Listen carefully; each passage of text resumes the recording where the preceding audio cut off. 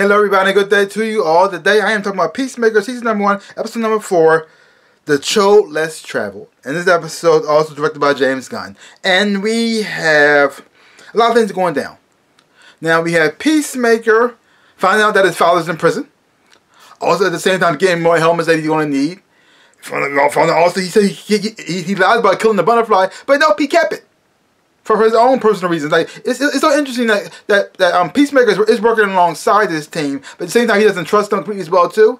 And that, could that be a good thing or a bad thing? I don't know because we found out we found out some more stuff in this episode about the, the person who's running the show. So that's a twist I did not see coming. And so now, can we trust him? I don't know. Because if, if he's the if he's the butterfly too, spoiler right here, because we found out that Murn is a butterfly. The spoiler.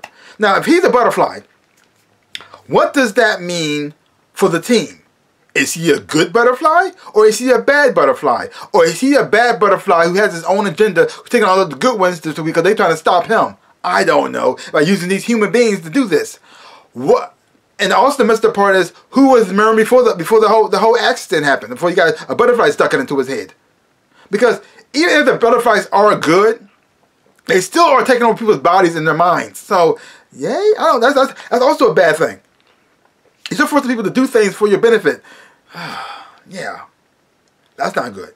Or are these bodies not real? I mean, are they like artificially created by the by, by the um by the butterflies so they so they can people function in society?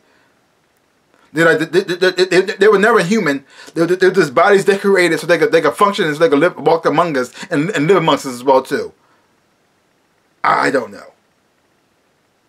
I, I, I don't. There's so many questions, so many questions here. But things that getting found out, we found out more about Peacemaker and his upbringing from his his horrible father. Well, I mean, we knew it always always bad, but seeing it in action and what he made what he made um, Chris do as a child was I, I'm surprised he's never more messed up. Like, good lord, and because you're still seeing him struggling to find out who he actually is. He's trying to he's trying to go away from his father because he doesn't he doesn't believe what he believes in, but at the same time he still loves his dad because that's his dad. That's the only dad he knows. That's all that's all he has which is really messed up for him. And you see him struggling with that. You got, you got, you got, you got Vigilante wants to be there for his friend by doing anything necessary to get there. And then you have with then you have um going on with uh uh Amanda Waller's daughter. I can think of her name right now. And the way she manipulated Vigilante to, to pretty much take out Chris's father, which is so messed up at the same time, always been the same time as too, because she comes out the innocent one, and the one who does actually scared to do all this stuff. But she, but you can tell she has a little bit of her mother inside of her. The way she, the way she manipulated him, and the way she, certain words she used to trigger him, to make him, to make him do what he did, was like, wow, wow. Also pretty awesome watching Adrian accent. Got to see him kick some button and, and beat up some, well, some bad people. So that was fun. But also messed up, messed up at the same time because now Chris's father thinks he tried to have him assassinated, which is now he's going now going to end up spilling the beans and, and, telling on his on his son, which just makes things even worse. Now the police are going, are, going, are going to get involved, and that's going to make things even more crazy. And so, like a lot of things are happening right now that's so messed up. Judo Master found out he's still he's still kicking butt, and he gets shot in this episode here, but he's still alive. Can this dude not die? Like, wow. But he looks like he knows something about the butterflies that we don't know. So, are the butterflies good? Are the butterflies bad? What was he going to say before he got shot? I don't know. So many things happening. This whole crew is, is dysfunctional. They're messed up and they're broken and they're, and they're hurt.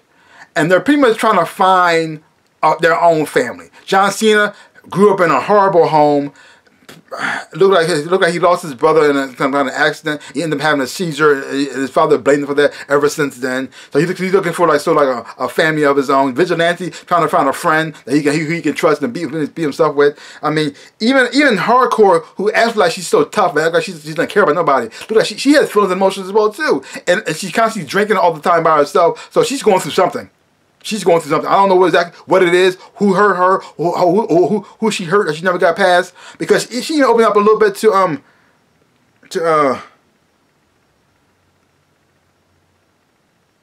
I can't think of that, girl, that girl's name right now. But anyway, she opened up to her and, and to, to, to Amanda Waller's daughter and tell her that the first, what happened to her was the first time she killed somebody and what, and what she went through. So Yeah, they, they, they're, they're dysfunctional, but look, they're coming together as, as, as a family, despite all the craziness that's going on around them.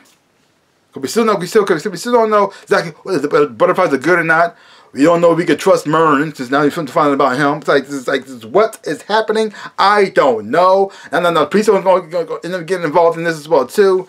Now, will the police believe believe um Chris's dad and think he's just making up stuff because he's trying to get his, his son in jail too, or something else altogether? I don't know. Let's see what happens there. That's just, it's just so messed up.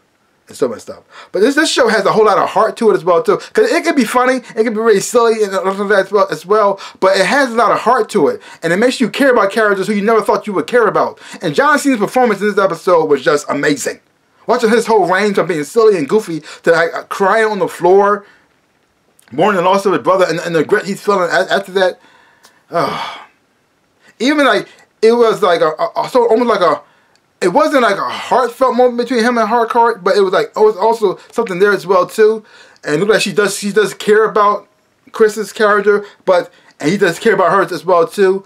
But he, he's still trying to be like him, like like he's always tough and there's nothing bothering him. But my, they're talking about how the top fits her as well.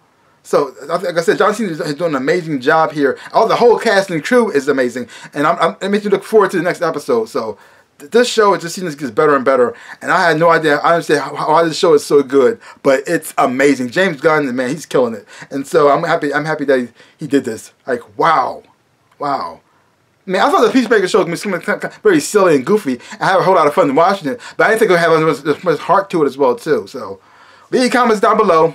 Let me know what you thought of this episode of Peacemaker. If you haven't been watching it, check it out for yourself. Hopefully you watch it, you enjoy it, have fun watching it too. So give me a channel below, hit the thumbs up shaboop, and subscribe to my channel and share. I would appreciate it, like I always say. In my dreams in real life, I am the Ninja Rabbit. Uh, peace out, uh, peoples.